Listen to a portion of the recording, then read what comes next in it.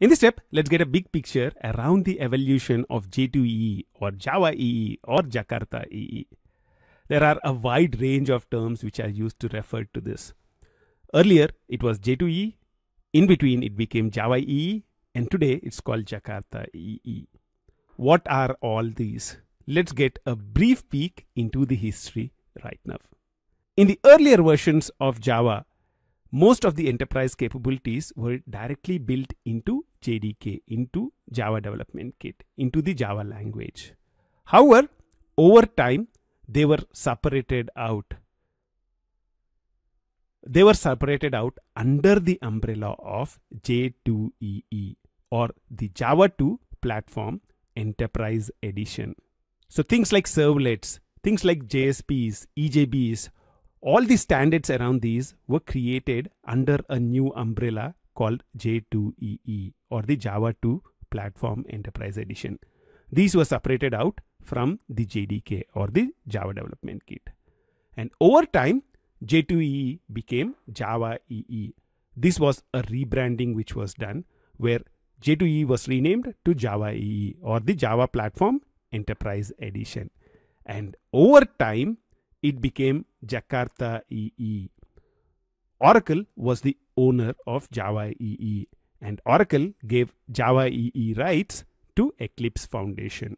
And Eclipse Foundation connected a poll and they renamed Java EE to Jakarta EE. So, what we are talking about is the evolution of Jakarta EE. It started out as J2EE.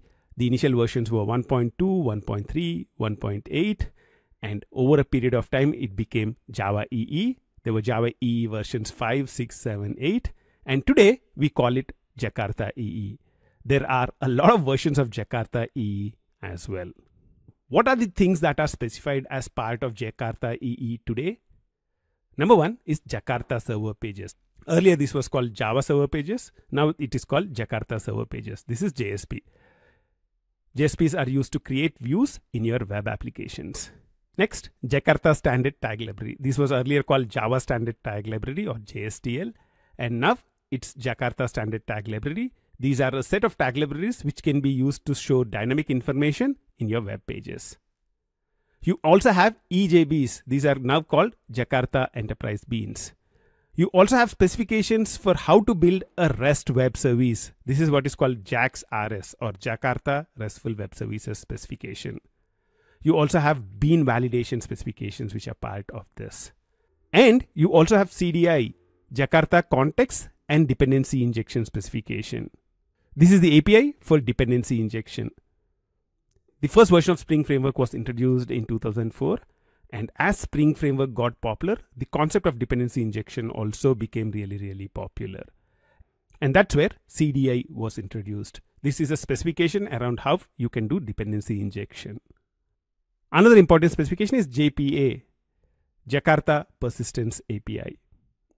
This deals with how you can interact with your relational databases. The great thing is Jakarta is now supported by Spring 6 and Spring Boot 3.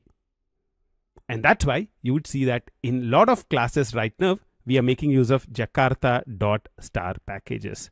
Earlier, we used to make use of javax.star packages. Now we are making use of jakarta.star packages.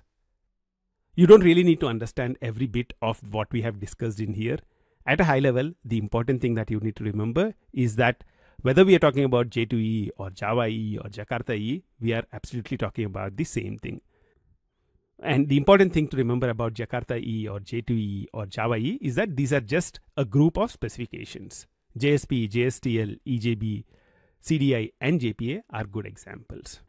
As far as Spring Framework 6 is concerned and Spring Boot 3 are concerned, they support Jakarta EE. And that's why we are making use of jakarta.star packages in most of the examples in this specific course. I'm sure you're having a wonderful time and I'll see you in the next step. I'm sure you had a great time watching this video. Think about this for a minute. What are the different things you should learn to be a great Spring and Spring Boot developer? The fundamentals of Spring Framework, Spring Boot, Hibernate JPA, and various Spring modules out there and learning to build variety of applications, a web application, a REST API, maybe a full stack application with React. In addition, you'd also want to learn unit testing. And after that, you'd want to learn how to containerize all these kind of applications with Docker. And how about deploying these applications to the cloud?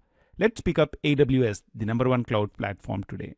Do you think this is a great roadmap for Java learners to follow? What if you can learn all these things in just one course? Yep, that's true. All these in just one course. Wouldn't it be awesome? Wouldn't it be a dream come true? Thousands of learners are already learning from this amazing course.